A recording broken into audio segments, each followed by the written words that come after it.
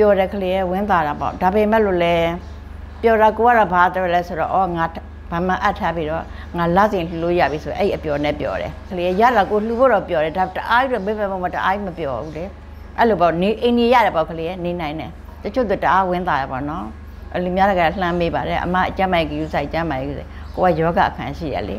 ARV တိုင်းဒေသကြီးမြောင်းမြဇာတိဖြစ်တဲ့အဖွားဒေါ်ဆန်းဆန်းမြင့်ကတော့အသက်84နှစ်အရွယ်ရောက်ရှိလို့နေပါပြီ။ သူမအသက်နှစ်နှစ်သမီးအရွယ်လောက်မှာတော့မိခင်ဆုံးပါသွားခဲ့ပါတယ်။ဒါအပြင်ဖခင်ဟာလည်းသူမအသက်9နှစ်သမီးအရွယ်မှာဆုံးပါသွားခဲ့ရတာကြောင့်ငယ်စဉ်ကလေးကမိဘမဲ့ဘဝနဲ့ဘဝကိုကြမ်းတမ်းစွာဖျက်ဆီးခဲ့ရတယ်လို့ပြောပါတယ်။ဒါကြောင့်သူမဟာမိတွေဖြစ်သူနဲ့အတူနေထိုင်ခဲ့ရသလိုမိဘတွေဘက်ကအတော်တွေနဲ့အတူနေထိုင်ပြီးအရွယ်ရောက်ကြီးပြင်းခဲ့ရတာပါ။သူမအရွယ်ရောက်တဲ့အချိန်မှာတော့လူကြီးတွေကသူမထက်အသက်10နှစ်ကျော်ကျော်ကြီးတဲ့ခင်မွန်းဖြစ်သူနဲ့အိမ်အောင်ချပေးခဲ့တယ်လို့ဆိုပါတယ်။အခုအချိန်မှာတော့ အဖွားတော်ဆန်းဆန်းမင်းဟာတာသမီ3ယောက်ထွန်းကားခဲ့ပြီးတာမွေမြို့နယ်မြစ်တာညွန့်ရက်ကွက်လေယာရွှေမြေလမ်းမှာမိသားစုနဲ့အတူကြမ်းကြမ်းမမာနဲ့နေထိုင်လျက်ရှိပါတယ်။အမျိုးသားကတော့အေးချမ်းပါတယ်။အေးချမ်းပြီးလာစားလေးနဲ့သမောလောက်ရတယ်။အေးရတာဟာလေးနဲ့ကိုစားတယ်မိသားစု3ယောက်ကိုဆက်ချုပ်တယ်။ဆက်ချုပ်ပြီးမိသားစု3ယောက်ထိန်လာခဲ့တာပဲခလေး3ယောက်နဲ့ကိုတယောက်နဲ့အိတ်တယောက်တစ်ဆက်ကလေးချုပ်အဲ့ဒါလေးနဲ့ကိုအင်ဂျီကလေးနဲ့ကောင်လှုပ်လာတယ်အဲ့ဒါပါပဲအခုနောက်ကလေးတွေကအားကိုးရတယ် ကြောင်းတက်တယ်သမီးကဆက်ချုပ်တယ်အဲ့ဒါနဲ့စားလာတယ်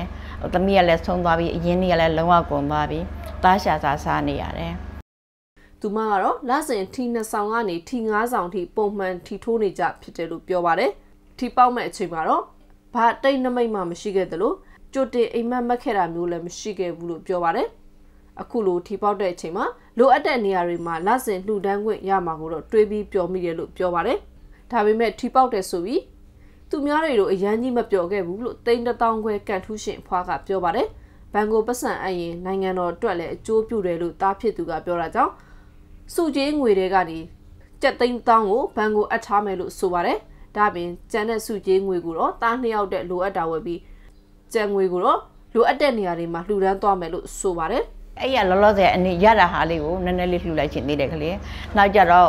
လာစဉ်လာစဉ်ကြကိုအဲ့ရ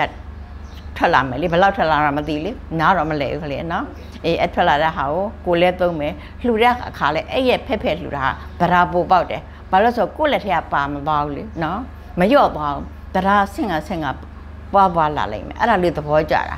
အချိန်နေပေးတဲ့တနေရာမှာပေါ့နော်လှူခြင်းတယ်နောက်ပြီးတော့လက်ကလေးဒီအခက်ခဲရှိတဲ့လူတွေပေါ့ကလေးတလားတစ်ခါလာဟောဘိုးဘရိတ်တာဟာလာတဘောပြပြတာဟိုနေဘာခေါ်လဲမခေါ်တတ်ဘူးတချို့ဘာသဘာဝတရားရိတ်တာ မဲပဒဟိတဗါလဲမင်းကလေးဖွံ့ဖြိုးရေးတဲ့ဗါလဲအဲ့အသင်းနေပေါ့လေအဲ့ဒါမျိုးလာစဉ်လာစဉ်ကလေးကိုမိသားစုလေးဒါအတိုးလေးနဲ့ထုတ်ဘာမှပုံမိထားသူမဘွားတစ်လျှောက်လုံးမှာတော့အလှဒါနကြီးကြီးမားမားမလုပ်ခဲ့ရဘူးလို့ပြောရှာပါတယ်။ဒါပြင်သူမရဲ့အကျင့်ကတော့တယောက်ယောက်အိမ်လာလေရင်တခုခုပေးခြင်းနဲ့လှူခြင်းနဲ့ကောင်းတာမကောင်းတာအသာထားအတုံးတဲ့မဲ့ဟာတစ်ခုခုလှူလိုက်ရလို့ရှိရင်ပျော်နေတယ်လို့လည်းဆိုပါတယ် အဖွားတော်ဆန်းဆန်းမြင့်ကတော့14ကြိမ်မြောက်အောင်ပါလေးထီကျက်သိန်းတောင်ခွဲစုကိုစုခူးခဲ့တဲ့ကန်ထူးရှင်လည်းဖြစ်ပါတယ်ကျမသူစာလဲမှာ